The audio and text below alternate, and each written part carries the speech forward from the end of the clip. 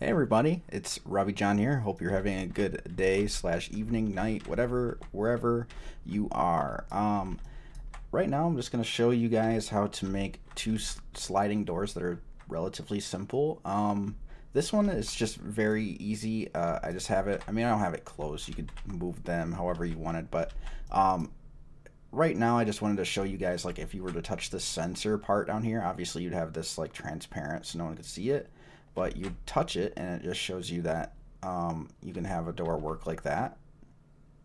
Uh, or I could have you do a door like this where it doesn't work, but if you come over to the desk, you can unlock the door and then the colors will change saying, hey, it's unlocked. And you walk in front of it and it has a nice little noise and opens and shuts. I made this door for my game that I have. Uh, let's see if I could pop it up and show you really quick.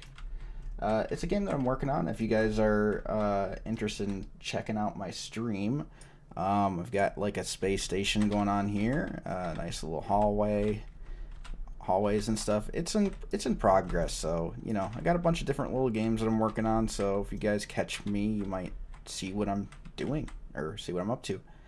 Anyways, uh, let's get into the scripting ish part of it. So for this guy, um, I've got one little script here, and this is for the sensor. We could actually change this to, to name it sensor if you wanted, just so you could easily see your stuff better. But this is the whole door. Um, you have the center part of the door. I just named different models, like door one, door two, right?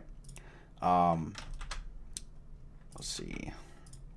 So, anyways, um, with these guys. Basically, you have the center, like I was saying, where it's tweening from. So I have like a little spot that it can return to, and a tween to. I know you could also get like the CFrame and stuff of your models if you wanted to, but this just seems to be a little easier and a little more precise for me, I guess.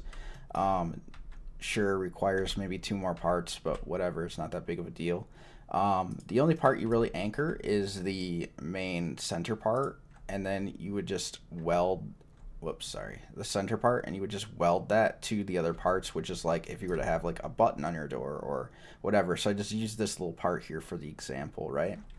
And uh, it's really simple. Um, when you go in here, you have to, you know, define your parts and what you're trying to do, the service that you're trying to use. We're trying to tween them, so we're using the tween service. So you have to get that service. Um, you have to show your doors so you have the door centers, right? And then you have the position. So this is the first position, and then the second position of door one, and then the same thing for this for door two. And it's really simple. You make a little touched event where it gets hit, and you could say if if it's a humanoid or whatever, so it has to check, then you can have it run this way. Because like, let's say for example, uh, if it's hit by somebody shooting bullets, right? Well, that might cause this to open up. Um, or let's just say like you have an alien chasing you in your game because I'm making like a space like thing, right? Uh, then it would cause it to open as well. You can make it just so that only certain characters could open it, whatever. Uh, not that hard to do. Um, so you have the tween service that you have to create. Uh, you put in the door one of center, right? Tween it. And then you have when you fill out the tween info it actually like almost fills it out for you. So for example this right here is the time it takes to tween. And then you have to choose the type of style that you want to tween it. So linear is kind of like the smoothest style that i've seen but like there's a lot of unique ways you could do things. I think i have like a a door that actually pops open and shuts um, that I have in one of my dungeon games. So I think I used uh, like Quint. What did I use?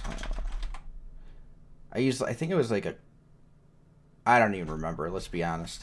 Uh, but anyways, then you can have like the different styles. So like it's going out. So I use like the out. I don't know if you you could just mess with the ins and outs if you want, whichever works best for you. It's like a different way of it moving.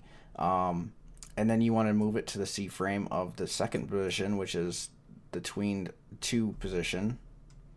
And yeah, and then you would open, then you would want to shut it, right?